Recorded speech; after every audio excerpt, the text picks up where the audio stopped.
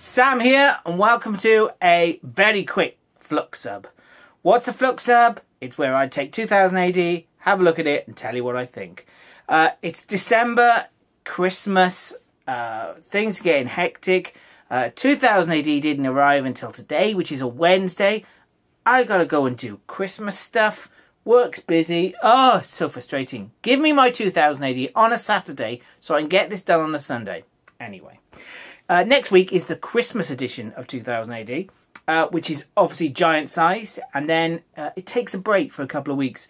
So I'll be putting together some stuff between then and New Year, hopefully some 2000 AD related videos. So watch out for that. Here's my 2000 AD. Uh, like I say, I got it on a Wednesday. Let's open it up and have a look at the cover. Uh, yes, get to dive in. Right. Get my glasses on. So, the cover of this week's 2000 AD is Boom! Oh, uh, oh, Mark Harrison, Never Look Back. Cyd takes flight me out. The out, the best. In here is the last part of uh, Judge Dredd the musical, which I'm looking forward to it. Anyway, let's have a look inside the product. Okay, again, lovely cover, a sneak preview there of what we're going to see in the out. Unfortunately, my subscriber copy came with a little tear. Oh well, that's fine. I enjoy it for reading, not for collecting. Anyway, as always, shall we read the damage report? Damage report, Journal of the Plague Years, week 77. So, Operation Dread Workplace is go. TMO pulls together all the managerial tricks he's honed over the last 45 years to ensure that the droids are thoroughly miserable, dumping a 40 page series on the Artbots and instructing them to turn it around in a week, giving the design mechs tips on how to use InDesign, random defenestrations. Ah, defenestrations. I do like that word. I learned that from Hitman comic book. This character, brilliant. So we've got an advert here for You've Got Red on You. You got red on you. Which is a book all about Shaun of the Dead. It's a little competition here. Which ice cream links Shaun of the Dead with Hot Fuzz and the World's End? Well, it's Cornetto, obviously. I mean, that's uh, Knobbly Dobbly. Is that even a real ice cream? Ah, I'll be interested in that. I do like Shaun of the Dead. It's one of my favourite films. So we've got Judge Dredd the Musical Part 3. Now, this is a longer version. I think maybe this was meant to be a four-part series, but it's been constricted because next week we've got the big Christmas issue. And again, it's a delight. Chris Weston knocking out the park with the art. Absolutely brilliant. Last week I said that Enormo Overdrive the Third was grandson of Enormo Overdrive. They're saying he's the son, so that doesn't really make sense. Sensitive Clegg's uh, hip opera is hilarious. All the uh, characters from The Cursed Earth, the Apocalypse War. Walter the Wobot turns up, and of course, his solo is transcendental. the vague plot of Dredd and Clegg being assassinated is played out. Um, Dredd turns up. I love this face there when he sees Clegg and Walter the Wobot. Drock. Just brilliant. He's like, oh my god, his worst nightmare. Dredd shoots his heat seeker in a crowded place where it literally could have gone anywhere.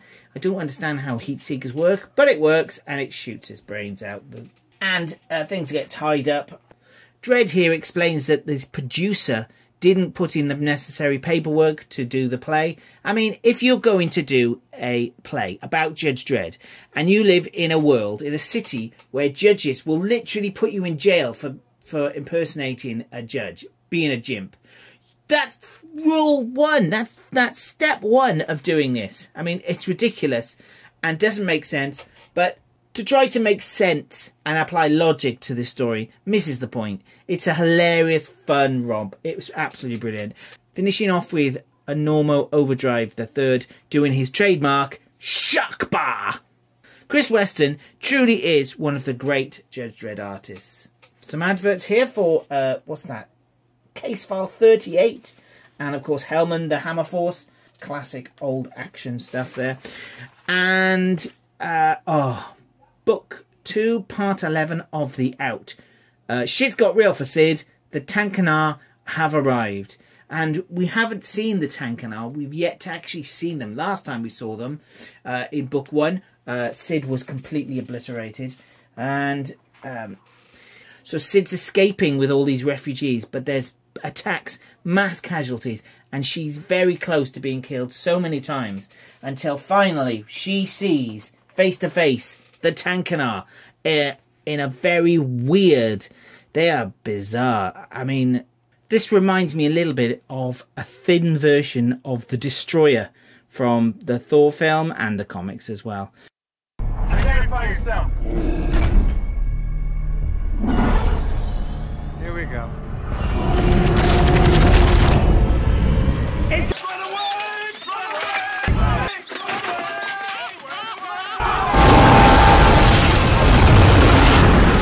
Pretty creepy. But Cyd uh, yet again escapes being murdered by the Tankanar. What's going on? Could this be something to do with back when the aliens called her the Marabunda? Could this be linked? Hmm. Anyway, she escapes by climbing into her bag, which then promptly gets destroyed. Now, I think she's probably alright because that's another dimension. The bag's been destroyed, but Cyd will survive, I think, in the other dimension.